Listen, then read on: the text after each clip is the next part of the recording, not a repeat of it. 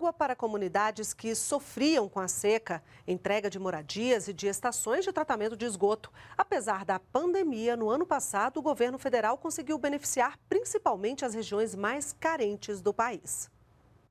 Em 2021, o Ministério do Desenvolvimento Regional levou as águas do Rio São Francisco até o Ceará após 13 anos de espera. E 1 milhão e 400 mil brasileiros realizaram o sonho da casa própria pelo país. No dia a dia a gente não ganha tanto para ter uma casa melhor.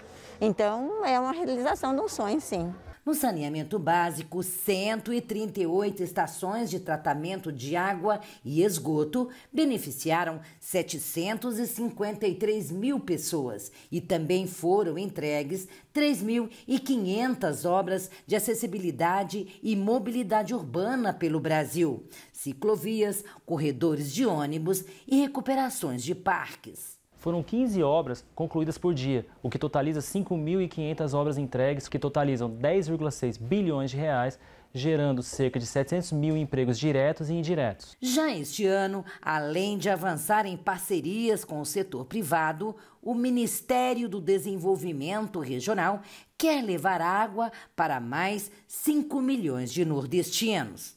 Para 2022, nós estamos finalizando a licitação das obras do ramal do Salgado serão 600 milhões de reais em obras de infraestrutura hídrica para levar as águas do eixo norte para mais 54 municípios do Ceará, atendendo cerca de 5 milhões de pessoas. Água para a gente poder dar banho nas crianças, vai ter água saudável para a gente beber, ter uma vida mais digna, né?